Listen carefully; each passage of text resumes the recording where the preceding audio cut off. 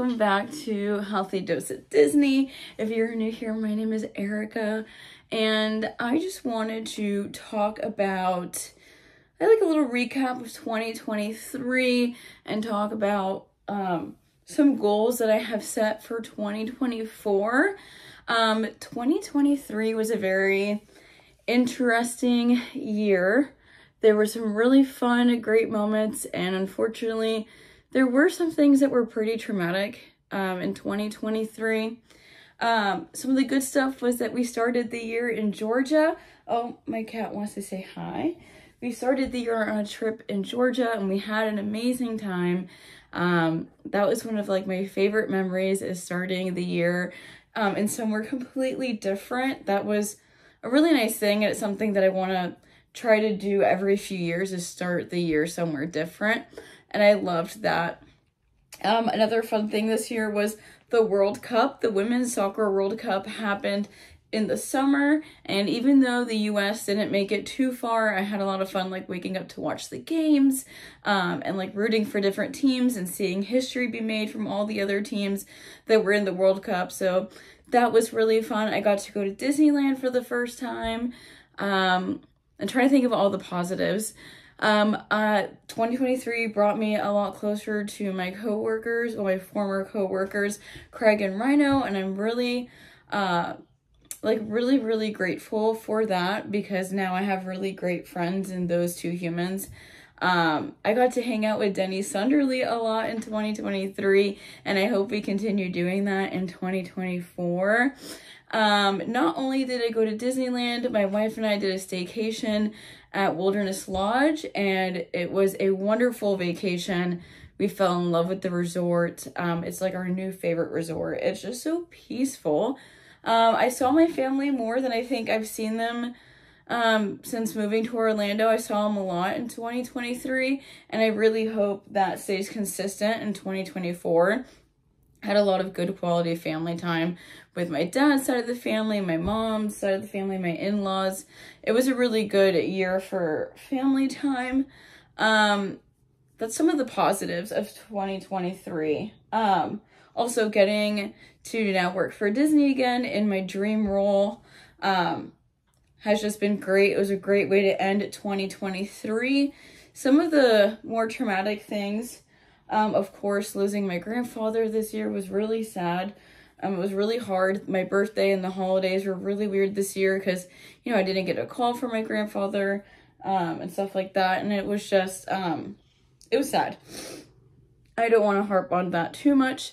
Obviously, a lot of you here um, found me and found out about me because of my previous job.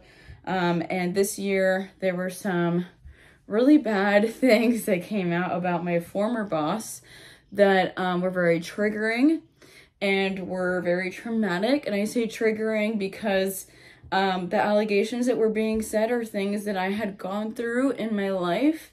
And so it brought up a lot of triggering feelings for me to know that someone that employed me um, did those things to people. And I knew um, what those people were going through and how they were feeling. Uh, look at Sebi, say hi. Um, so like that, that was just a lot. And knowing that that person also, um, was not very nice to me. Um, I was never close to that person. I tried not to have any contact, um, with that person, which is hard when they're your boss. But there were comments said to me about my sexuality that um, were not okay. And um, it was just a lot. Um, it was a lot. And, you know, I quickly found out my place um, when that person was still around. It just, it wasn't a good, it wasn't a good time. So when everything did come out, it just, it just made everything really stressful and made everything that was slightly good just feels all like bad. Um, it was really hard time for me because I was trying to figure out how do I make a stand? You know, I didn't know any of these people, but I wanted to make sure that everyone knew that I was on like the right side of things and that I wasn't trying to support someone that was a predator or anything. um, or someone that was abusive. But that whole part of 2023 seemed like it was like, it felt like it lasted 10 years. It was just so much. It consumed every part of my day from like talking to my mom on the phone, obviously being with my coworkers, and then coming home and talking to my wife about it. Like it just consumed every aspect of my life. And I'm just kind of really happy that that's all over.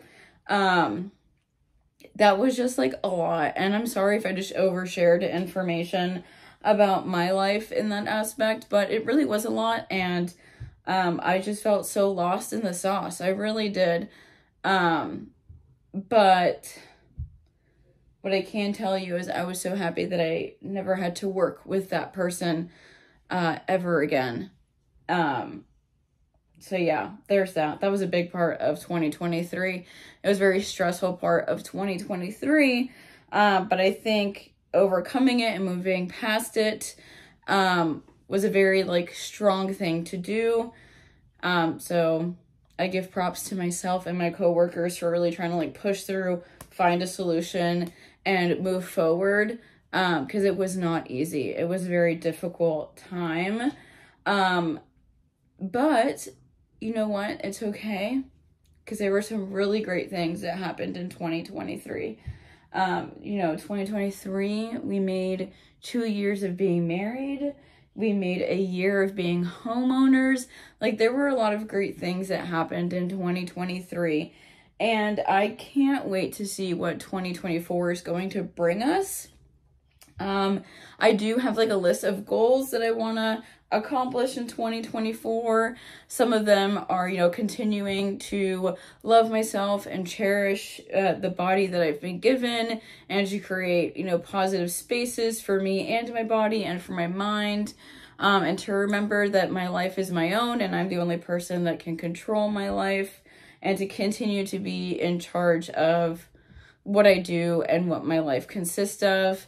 Um, you spend and cherish time with my wife because we both work full time jobs and it can be hectic. Um, another one of my like professional goals is to become the best performer that I can be, but also grow into some like leadership type of roles uh, within the year. Um, so another goal I had, which isn't an original goal, I stole this from Tim Tracker because he completed everything in the Magic Kingdom. Um, and I think my goal this year is to complete everything that is in Hollywood Studios. So I have an app that tracks like rides and attractions, and I'm going to try to check everything off within the year and do the full park, maybe visit the park once a month and knock some things out, but to complete like one full park this year and like try to keep that tradition going. Another goal I have for myself is to get some more tattoos because you know I love tattoos um, and to get a frequent fear pass for Halloween Horror Nights. Um, those are just some of my goals, but I've been doing a lot of reflecting that 2023 was a year of strength and um, pushing forward.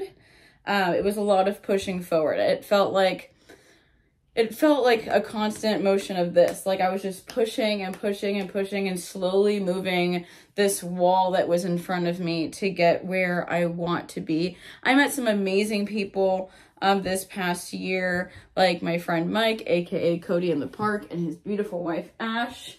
Oh, and kitty cuddles. So many kitty cuddles in 2023. Um, but yeah, I met amazing people in 2023 and just it was it was a good time and that's why i feel like 2024 is gonna be a really good year. Um and maybe you know i'm hoping that it won't feel like this the whole year. I am hoping um that i can move a little more freely in my life with where i'm at right now. I feel like i'm just going on tangent and rambling but i just promise this part of the video is going to be done in just a minute but Rhino on his New Year's live stream was talking about how he picks a word for the year um and how he like uses that word throughout the year um instead of making like a resolution. And I've been thinking about my word and I think my word is progress. Like I'm always a work in progress and I want to remember that um I'm not perfect and I won't ever be perfect but everything I do is a work in progress. Like my career, my goals, my personal life, everything is a work in progress.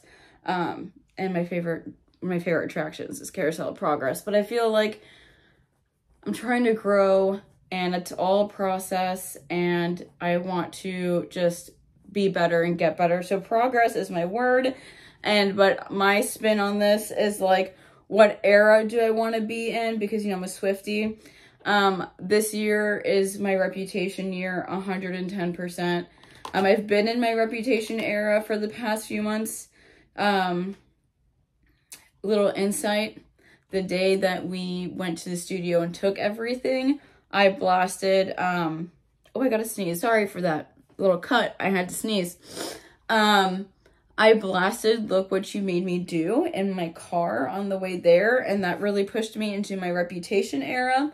Um, but I think I'm going to be in that this year, and I'm hoping that Reputation does get released in 2024 so that it can match my vibe. But if you really think about it, the Reputation era is filled with love songs and taking back your reputation and being your authentic self. So that is what I want this year to be. I want to make progress. I want to remember that everything's a work in progress and that I'm not perfect and no one's perfect.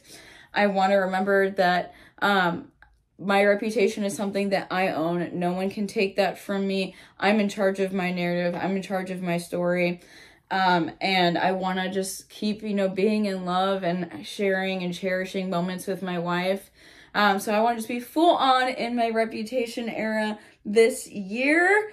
But yeah, that's like my little reflection. I'm sorry if that got a little deep there for a moment, but I haven't really talked much on what happened um between what was it like July to now basically cuz yeah, it was the end of July and like August. It was just all a mess. August, September, October, like those months were really really rough. Um, but, and I haven't really spoke much on it other than the poetry that I put out regarding the situation because I just put my feelings best into writing. But yeah, 2023 was a year that felt like a roller coaster, but I'm very, very grateful for um, the people that were riding the roller coaster with me. Um, again, shout out to Craig and Rhino for really like being like a rock for me throughout 2023 like i they were constant. Like i always knew they were there. Um and they they were the people that were going through exactly what i was going through at work. So like we were able to like really bond together and i'm very very appreciative of them. They're amazing people. The whole team um is great. But yeah 2024 it's gonna it's gonna be good. It's gonna be good. Gonna go to disneyland again Gonna hope to travel a little bit, do some more staycations, um, and just not take life for granted at all. And um, again, like I said, to remember that I'm not perfect. No one's perfect. We're all at work in, in progress. So, yeah. We're gonna go do my hair now. Um, I know it feels like we just did my hair, but we're gonna do, go do um, what's called a gloss on my hair to just give it some more like vibrancy. It's about that time. We are going to add more blonde, but not right now. Just doing a gloss. I'm, this was 14 minutes of me rambling. I'm so sorry. But I really want to talk about 2023 and what I'm looking forward to in 2024. Um, please let me know what era you're going to be in this year. I want to know. Um, I'm very curious to know what era you're going to be in. And if you're not a Swifty, you can make up your own era. That's fine. But let's go to my hair appointment and see how this turns out. I love you guys so much. Thank you for bearing with me on this little ramble.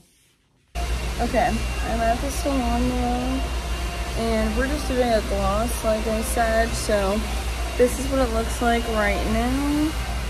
And um, it should be a little more like vibrant and shiny when I leave here. Every time I leave the salon, I just look like slightly different, not like a lot different, but soon we will be adding more blonde. So that'll look a little different, but not yet. We're gonna talk about it today. But we're just doing a little, a little gloss. I know I look a little wild, but there's the process. Um, they gave me a Diet Coke, but I want to say that they've played Taylor Swift twice now. What was I trying to say? Twice? Twice now since I've been here. And it's like they know I love, I love that they're playing her. It makes this experience even better. Um, but yeah, this is where we're at.